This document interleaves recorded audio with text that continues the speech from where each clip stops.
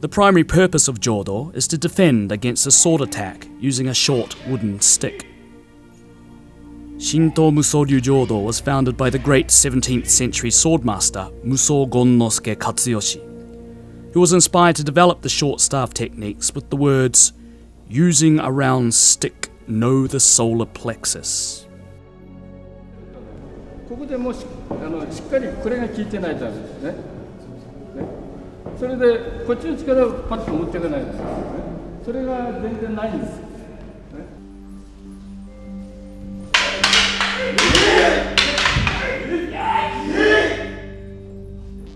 はい。えーとあの武器を使う場合ですねあの長いものであればですねあのなんていうんですかその間合いがまだ全然違いますですよね長いものはですね。でそれが例えばさっき言った一角流10手術だと獲物が短くなりますね。でそうなってくるとやっぱり体術に近くなってくるんですだからそういう意味ではあの体術とですね共通しているところ例えば入り身で入るとかっていうのはですねやっぱりそういう短い武器になるとそういうところが必要になってくると思うんですねだからそういう意味であの共通点がですねだんだんこう一生懸命やってるとですね見えてくるんじゃないかなというふうに思います。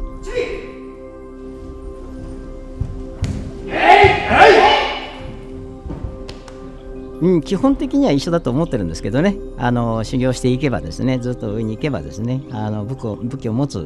武道もですね、え武器を持たない武道も要するに相手を要するに殺さないで制するというところに尽きるんじゃないでしょうか。